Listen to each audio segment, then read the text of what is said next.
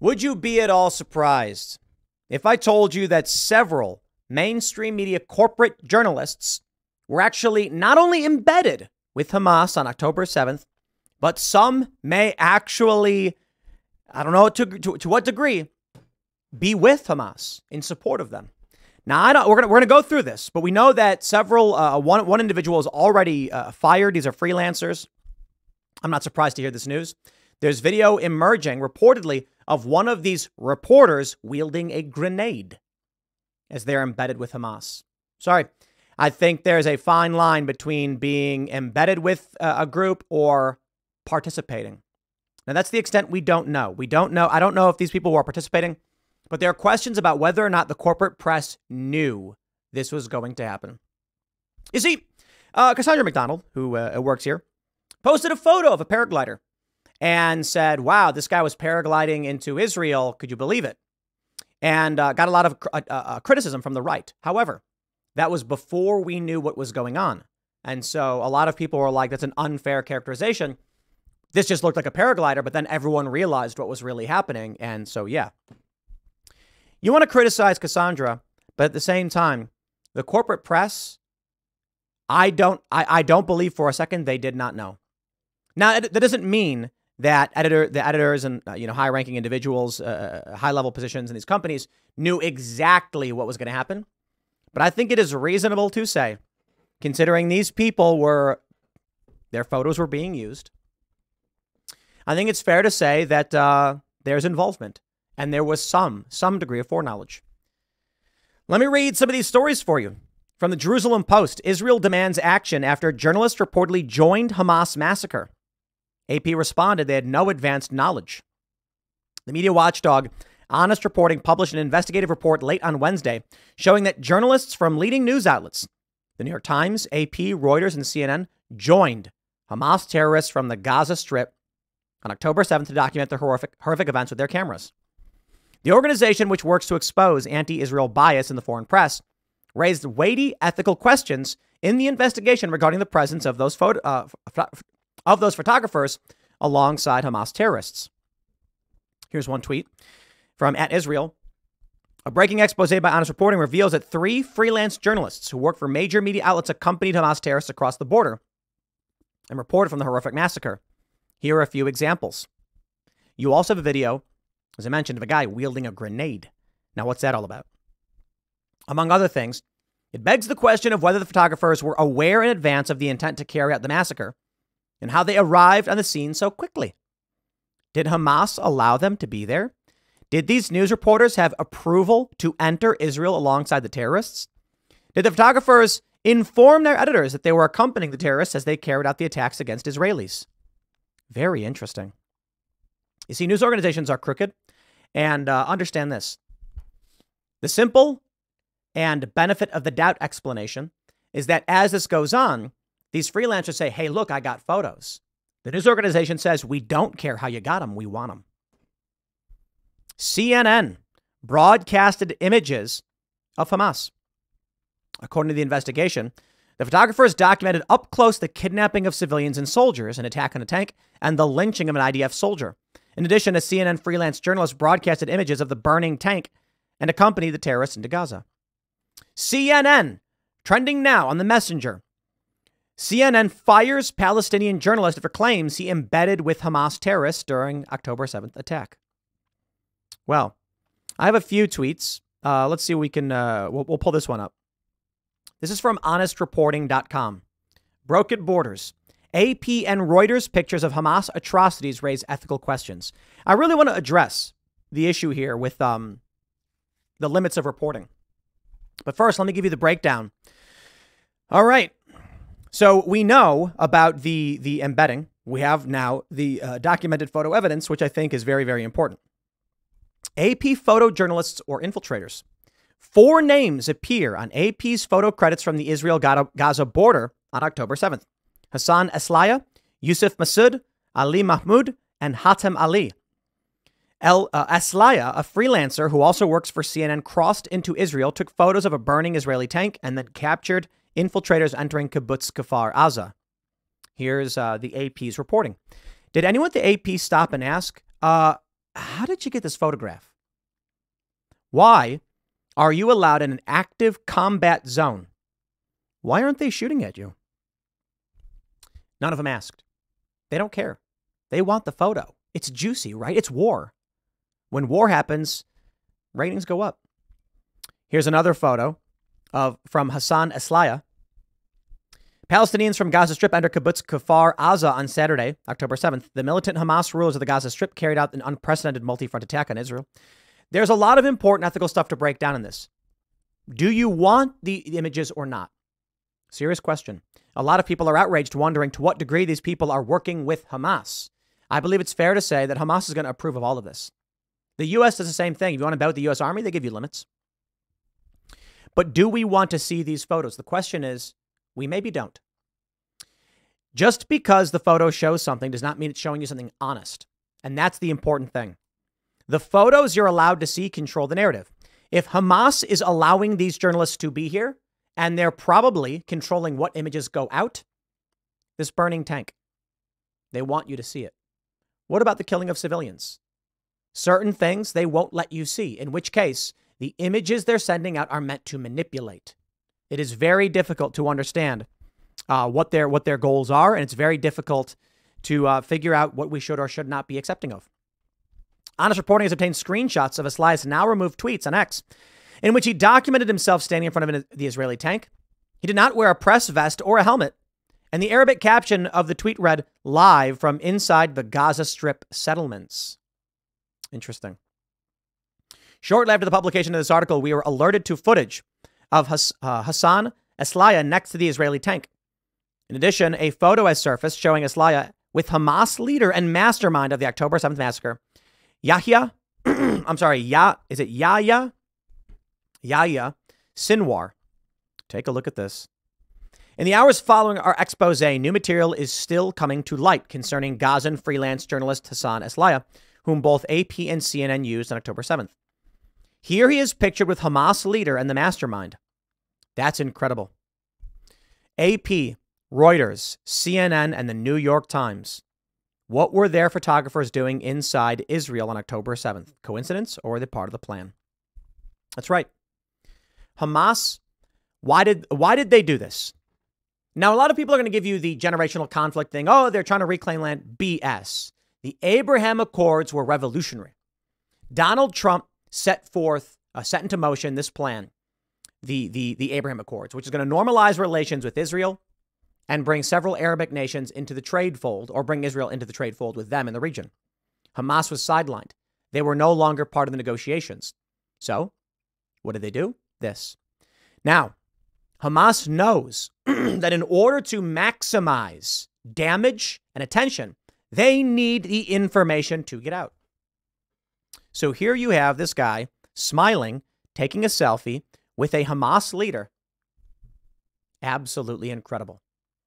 These news organizations don't care for whom they get the content from. They don't care if they're putting out misinformation or manipulation. They don't care at all. They don't ask the question. And here is footage of Eslaya after he crossed into Israel and took photos of a burning Israeli tank. He then captured infiltrators entering Kibbutz Kfar Aza. Note that he is not identifiable as a member of the press, but AP and CNN deemed it acceptable to use his services. This is the important point. I, I, these people aren't journalists. But do we want the information or not? Hamas recorded themselves committing atrocities, and then Israel released that information. News organizations replayed these videos. I think it's a good thing they did. So we can see just how awful and horrible these people really are. They're, they're committing evil acts. But also understand it's what they wanted. So what do you do? I don't have the answers for you. This is a strong moral question. I do know that the answer should not be Joe Biden sending $100 million in aid, which he claims is going to Palestine, but we know will be intercepted by Hamas because Hamas runs the Gaza Strip. In the above video, Eslaya says in Arabic, Everyone who were inside this tank were kidnapped. Everyone who were inside the tank were kidnapped a short while ago by the Al, by Al Qassam brigades, as we have seen with our own eyes. For those unfamiliar, the Al Qassam brigades, it's uh, Hamas's uh, armed faction. They're militaristic faction. More photos he took in Kfar Aza show Hamas terrorists trying to breach the kibbutz's fence and burning house uh, and burning and, and a burning house inside the community. Take a look at this photo. This is from what source is this? Uh, it's AP. An AP photograph. Palestinian militants from the Gaza Strip run by the gate of Kibbutz Kfar Aza on Saturday. This was Hamas's plan: maximize press attention, disrupt peace negotiations, and this is what they did. So the question is: Are these actual journalists, or did the corporate press pay terrorists to help them carry out their plan. I got to say it again, man. I don't have the moral answers. But if Hamas had these guys embedded, these are these are pro-Hamas people, friends with the Hamas leadership, and part of the plan was to get selective images out, and the Associated Press and CNN paid them. I got serious questions. Man, I wish I could give you the, the easy moral answers here. I wish I could. I can't. Do we want these photos or not? I will say it again. You comment below. Let me know what you think. I think the challenge is when you allow pro Hamas factions to dictate what information gets out because they're killing Israeli civilians and there's not going to be pro Israeli journalists, they're controlling the narrative to benefit themselves. Masood, who also works for the New York Times, was there as well, just in time to set foot in Israeli territory and take more tank pictures. Ali Mahmoud and Haytham Ali were positioned to get pictures of the horrific abductions of Israelis into Gaza. Mahmoud captured the pickup truck carrying the body of German Israeli Shani Louk, and Ali got several shots of the abductees being kidnapped into the strip. I, I, I, I, I want to stress this, man. Don't you want these photos of the kidnappings? This is tough. Then are you playing into their plans? Interestingly, the names of photographers, which appears on other sources, have been re- have been removed from some of the photos on AP's database. Perhaps someone at the agency realized it posed serious questions regarding their journalistic ethics. Reuters lynching as image of the day. Reuters has published pictures from two photojournalists who also happened to be at the border just in time for Hamas's infiltration. They took pictures of a burning Israeli tank. Reuters was kind enough to add a graphic warning to the photo caption, but it didn't prevent editors from shamelessly labeling it as one of the images of the day. Now, here's the big question did they know about this? Dr. Eli David, Eli David, breaking Israel Minister of National Security. Photographers who joined Hamas during the massacre are terrorists and will be dealt with as terrorists. He is referring to CNN, AP, Reuters, and New York Times photographers embedded with Hamas on October 7th. Wow. These journalists knew. They knew what was going to happen. I, I do not believe for a second. Why else would they be riding on the back of motorcycles? Why else would they be at the border? It doesn't mean they knew the exact extent of the attack. I believe they likely did. Israel is now saying they are terrorists. It's dangerous territory, man. But welcome to war. I don't, I don't, I don't know, man. The, the, the labeling of journalists as terrorists terrifies me. It really does. Because we want to get access to information don't we want the photos of the people being kidnapped so we know they're being kidnapped so we can call for their rescue? Hamas wants the image out there too to shift the narrative back to them. And they got paid, baby. They got paid. What Israel does next will be very interesting.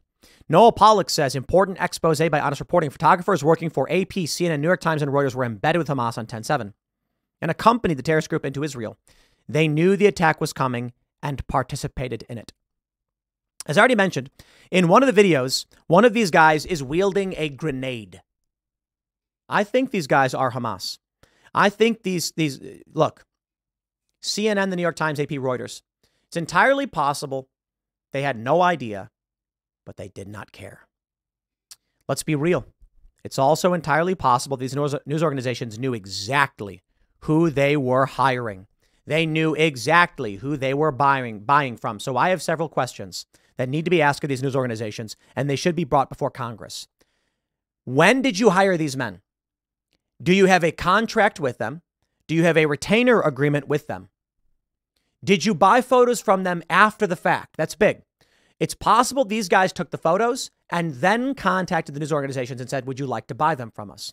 The other question What culpability will these organizations face if it turns out they gave direct monetary resources to Hamas personnel.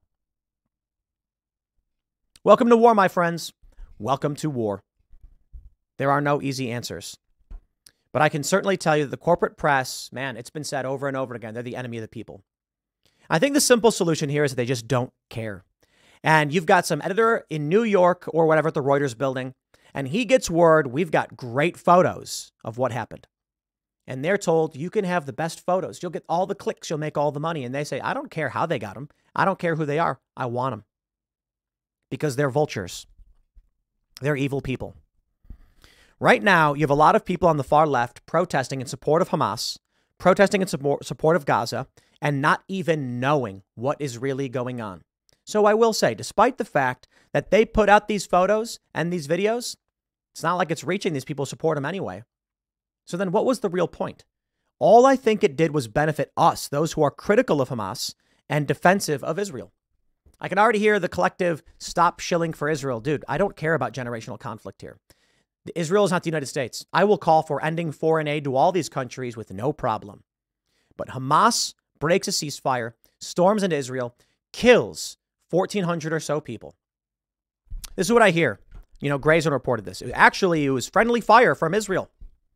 When they were coming in, they didn't know who was who. It's possible. Let me let's let's say this. Let's operate under the assumption the IDF comes into these kibbutzes. Is that it? Is it plural? Into, into the varying kibbutz, kibbutzai. I don't know. I don't know the plural is. And says we don't know who is or is not on our side. The people living there may open fire. The IDF may may shoot back, and friendly fire may kill some of these Israeli citizens. That still means Hamas killed them. That's how it works. If you rob a bank and someone has a heart attack and dies in the process, you murdered them. That's how it works. Right now, the U.S. is facing the threat of serious regional conflict and potential World War III. We just had a big debate, and the only guy on stage, the only guy that was skeptical of war, I don't want to say completely anti war, but the one, because he's talked about, you know, the southern border and stuff, killing terrorists. Doesn't necessarily mean war. I, I can agree with defending the southern border. But uh, it's Vivek. Vivek's the only guy. If it's not going to be Trump, and if the GOP actually, for some reason, I think, I wonder if this is what they're planning. Donald Trump is con- a convicted felon. They take him off the ballot. Joe Biden is removed, and it's DeSantis versus Newsom. That's why they're debating. I have to wonder. I really do. But I wonder what that means for the United States and for war, because be it Newsom or DeSantis, I think we're going to get war. The media organizations have no problem working with the most vile and evil people if it gets them a quick buck. You've got the Obama administration had no problem, no problem supporting terrorists in the Middle East if it meant U.S. needs were met. I shouldn't say needs, I should say desires. Why is it? Why is it that under Trump, ISIS is flattened? Hmm. Right now, the corporate press is claiming that Vivek Ramaswamy had the worst performance. The New York Times says he was the worst. Really? The guy who's taking social media by storm, who everyone online says was the winner, but the corporate press says he lost. Why? Because he's the only guy who says no war. If Vivek Ramaswamy closed out his entire performance by saying, and mark my words, if I become president, I will declare war on day one on every country, in, in, on every single country, Iran, China, uh, all the BRICS nations. They'd say, wow, a true leader. If Vivek Ramaswamy says, the first thing I'm going to do for this country, I am going to secure a billion dollar contract per day for Halliburton, for Boeing, for Raytheon, for Lockheed, they'd have said, wow, truly, truly presidential. Evil people in our midst. They want war because war allows them to control things. And a lot of people think it's money, but it's not money. Money is a tool that gives you control. If someone can't eat, you have more control. So they like it when the economy is bad. They don't like it when the economy is good. When the economy is good, you have independence. You can choose to work for whoever you want. You say, look, I've got money. You got to give me a good deal. When the economy is bad, you're desperate. They want you desperate. They want there to be war. They want control. Who is they? The neocon and neoliberal establishment. That's who I'm talking about. Republicans and Democrats. They always try to say, like, they is anti Semitic. No. I want Israel to defend itself. I want them to be able to defend themselves. I think the far left is attacking Jewish people in this country, and it's psychotic. I can't stand the far left. I don't think Israel's innocent. I think they do a lot of things wrong. The point is, the biggest threat to this country are the ultra elites who would sell you out, who would work with Hamas terrorists, who would fan the flames of war to enrich themselves. As Vivek said, spending trillions, killing millions to make billions for themselves. And he was the only guy willing to say it. And for that, they say he loses. Spare me when we see stories like this. I believe that these news organizations should be brought before Congress and made to answer for this. Because I, I got to tell you, these guys had foreknowledge. And I do believe there's a possibility that these, these reporters contacted their, their uh, corporate press liaisons and said, on October 7th, there will be major action and we're going to have the content. Do you want it? And they said, okay, you know, we'll take it. We're not going to ask any questions. No hard moral questions there. You know what they could have done? They could have said, we do not want to be party to whatever it is Hamas is engaged in. Post the photos online. We'll, we'll, we'll post whatever photos appear. But understand this my final thoughts, as I stated earlier Hamas is not going to allow pro Israel journalists on scene. Question their motives. I'll leave it there. Next segment's coming up at 4 p.m. on this channel. Thanks for hanging out, and I'll see you all then.